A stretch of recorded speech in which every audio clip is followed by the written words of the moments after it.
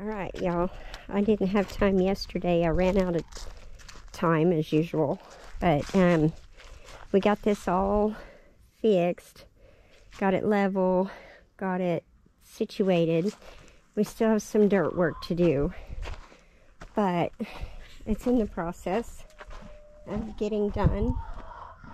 We have a bunch more to do around the back, but they have a home. Let me take you inside. The girls are. So on this side, I have a little area for their feed. Husband built them some roosting racks. And they got nesting boxes. And the rabbits have their area. And then I have this area for my supplies and such. And then the window open and everything. And they got their water and their feed and stuff. And eating on a pumpkin. But that is their little um, chicken coop for now. And then when I'm done, then we can make it into a, a um, oh, what do you call it? A uh, potting shed. Make a great potting shed. I think in the summertime it's going to be way too hot. Uh, now my husband and I are in disagreement on a predator-proof run. So he says they're just going to be out here during the day. We don't need to do anything special. Just throw a fence up and call it good. But we all know better. you know, I have been watching people lose their chickens for the last few years, and I just really don't want to do that.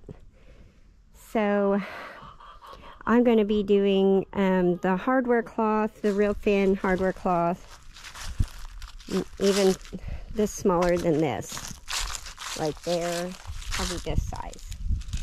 it's pretty sturdy, or we'll be burying some of it.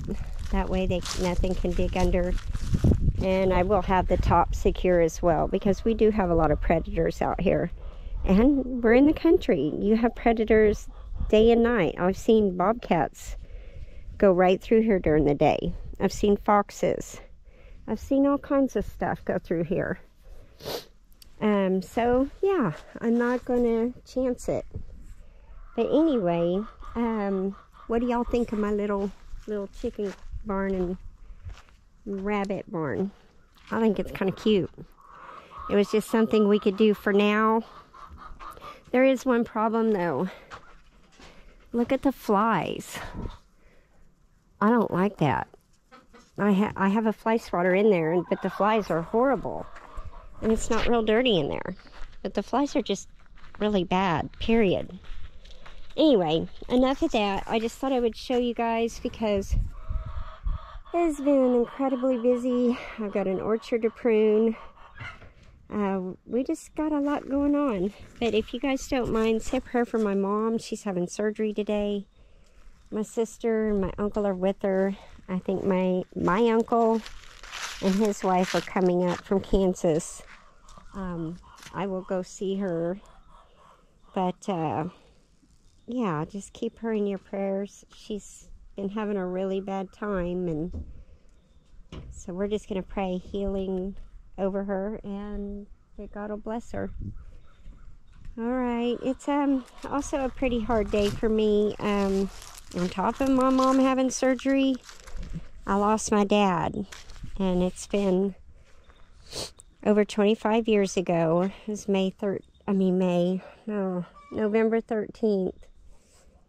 And the time that he died, it was a Friday the 13th, and um, he died in Kentucky. And I was there with him and his wife, Cindy. It was just really hard. I was really close to my dad, and uh, it it doesn't get easier. There isn't a day that doesn't go by I don't think of him. I wish I could talk to him all the time. It's hard.